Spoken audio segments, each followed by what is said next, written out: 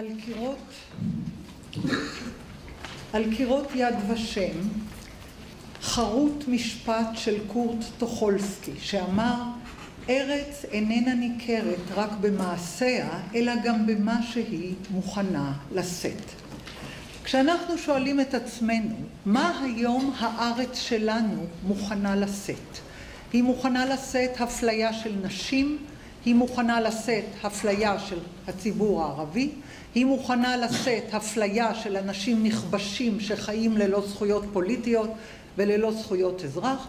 כלומר הדיון התיאורטי ביחסי יהודית דמוקרטית בהחלט איננו מניח את הדעת משום שהמצב איננו של דמוקרטיה במיטבה או של יהדות במיטבה, נהפוך הוא.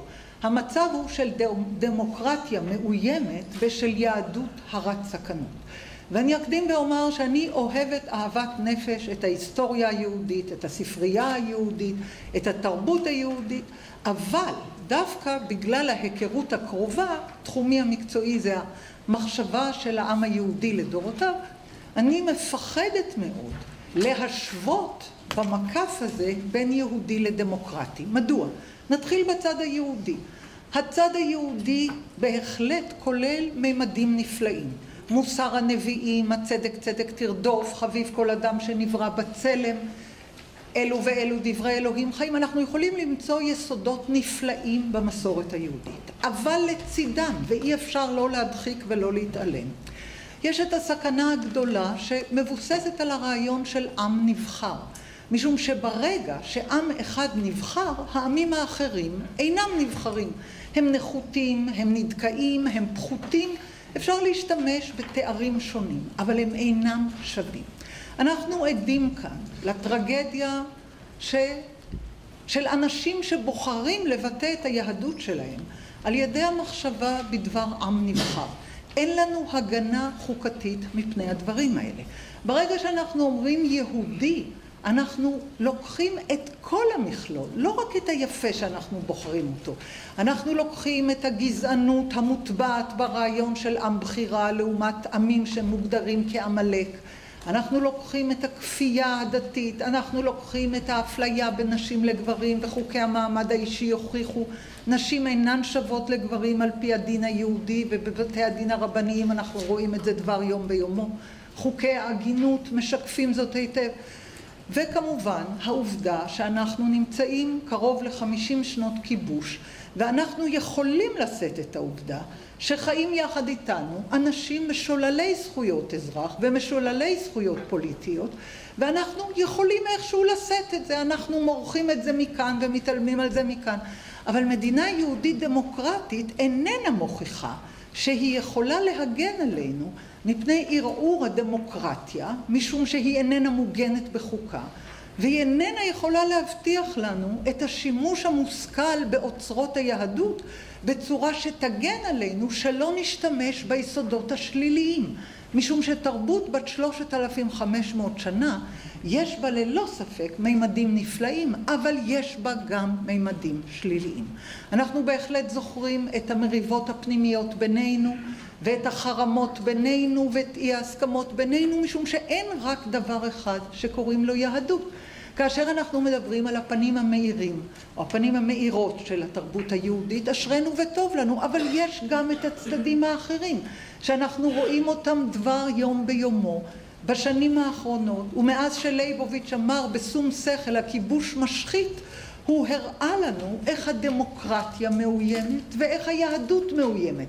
כי זו לא היהדות של צדק צדק תרדוף שאנחנו מכילים, וזו לא היהדות של חביב כל אדם שנברא בצלם, וזו בהחלט לא היהדות של את האמת והשלום ההבו, וכל אלה הם שלנו. אבל יש את הצדדים האחרים.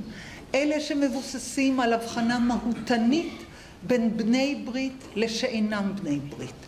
לא השכלנו במערכת המשפטית הקיימת להגן על הדמוקרטיה מפני הבחנות מהותניות בין בני ברית נבחרים לבין אלה שאינם בני ברית שנעים על הקשת שבין גויים לבין עמלק ואני חושבת שאנחנו חייבים להכיל בדיון שלנו בכנס הזה את ההתמודדות עם השאלה הזאת מה אנחנו עושים כשאנחנו אומרים יהודית דמוקרטית? האם יש לנו דרך לבחור רק את הפנים המאירות? איך אנחנו מגינים על עצמנו מפני הפנים האפלות? ואני רוצה לקחת את הדיון למקום בלתי צפוי.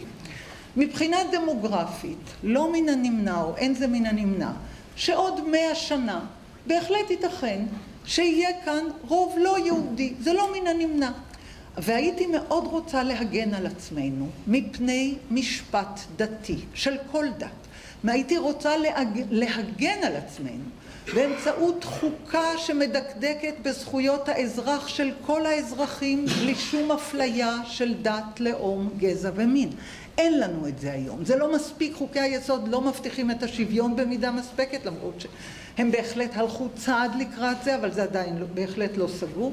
העובדה שאין לנו חוקה מאיימת עלינו בהעברת חוקים כמו שהועברו היום או אתמול בכנסת, חוק העמותות שהוא ממש מופת לעד כמה הדמוקרטיה רעועה כאן, ונדמה לי שאין צורך להרחיב משום שכולנו בתוך עמנו אנחנו יושבים ואנחנו יודעים מה אנחנו רואים ושומעים יום יום. אני שואלת את עצמי אם מן הראוי להנציח את המקף יהודית דמוקרטית ואם לא מוטב לנו לומר מדינה דמוקרטית שמגינה בשווה על זכויות כל אזרחיה, שאף חלק מהמשפט שלה איננו מבוסס על חוק דתי. כי היום זה החוק הדתי שלנו ומחר זה יהיה חוק דתי של מישהו אחר. ואנחנו צריכים להגן על עצמנו מפני השרירותיות של חוק דתי מסיבה אחת פשוטה. המקור, מקור התוקף של החוק הדתי הוא הטרונומי. כלומר, כנגד דבר אלוהים לגבי מאמיניו, מן הנמנע להתווכח. פרשנות הייתה תמיד לאורך מאות ואלפי שנים. אבל אפשר תמיד להגיד, אבל זה דבר אלוהים ועל זה אני מסרב להתווכח.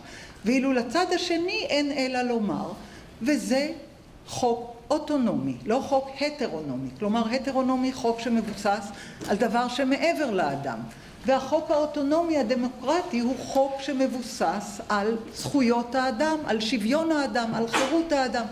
ברגע שאנחנו משאירים חלקים של החוק לדין הדתי, יש מקום לאפליה, יש מקום להבחנות מהותניות, ובהחלט רבים מאיתנו סובלים מהתוצאות היומיומיות של זה. זרמים שאינם אורתודוקסים מרגישים מופלים על ידי החוק הדתי, נשים מרגישות מופלות על ידי דיני המעמד האישי, ערבים שחיים תחת כיבוש מרגישים מופלים על ידי שלילת זכויות האזרח והזכויות הפוליטיות ואינני חושבת כלל ועיקר שבצירוף יהודית דמוקרטית יש כדי להגן על היהדות או על הדמוקרטיה. תודה רבה.